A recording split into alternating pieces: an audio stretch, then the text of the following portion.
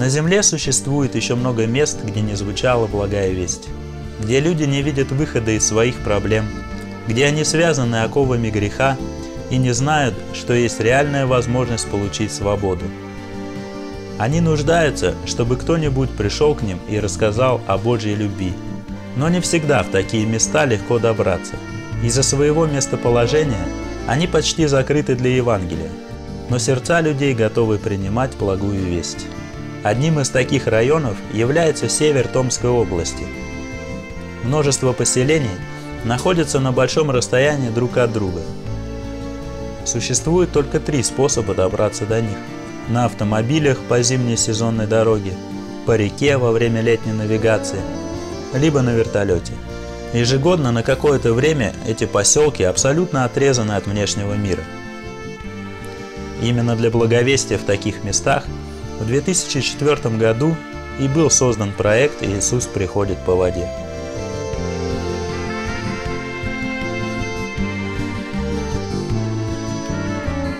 Основная цель проекта – достигнуть благой вестью жителей северных районов Томской области и организация поместных церквей.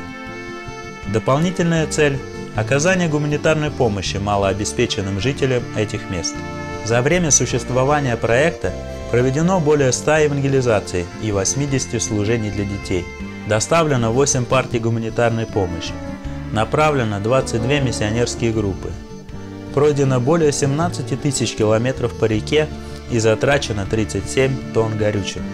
Но самое главное, мы видели судьбы людей, в чью жизнь пришел Бог. Видели души, измененные Его милостью.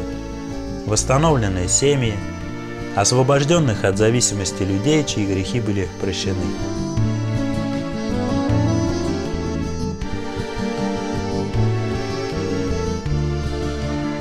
Благодаря проекту многие люди услышали весть о спасении. Но не во всех наступили те перемены, которые хочет увидеть Господь. В некоторых поселках уже образовались церкви, и новообращенные могут получать поддержку со стороны верующих но такая возможность есть не везде. Именно поэтому было принято решение изменить стратегию благовестия. В этом году планируется, что катер, прибывая к поселкам, будет оставлять в каждом из них группу благовестников на 7-10 дней. За это время братья и сестры смогут провести несколько евангелизационных служений, показать христианские фильмы, организовать занятия с детьми, посетить некоторые семьи и оказать посильную помощь. Но самое главное, местные жители будут иметь время пообщаться с христианами, задать вопросы, посмотреть на жизнь верующих, научиться молиться, то есть получить ту духовную поддержку, которая нужна человеку на начальном этапе следования за Христом. Молитесь за этот проект, за тех, кто несет это служение, за тех, кто жертвует своим временем и финансами, за новых миссионеров и за тех, кто благодаря этому труду слышит благую весть.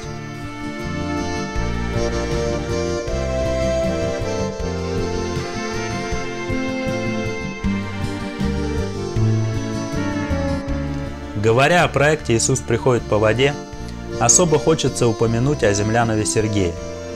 От начала проекта он является капитаном катера «Вестник». Всю летнюю навигацию он находится за штурвалом корабля, а зимой занимается ремонтом, покраской, то есть подготовкой судна к новому сезону. Ввиду того, что Сергей не может иметь постоянного места работы, а его жена сидит с четырьмя маленькими детьми, эта семья нуждается в материальной помощи. Их средний ежемесячный доход не превышает 200 евро.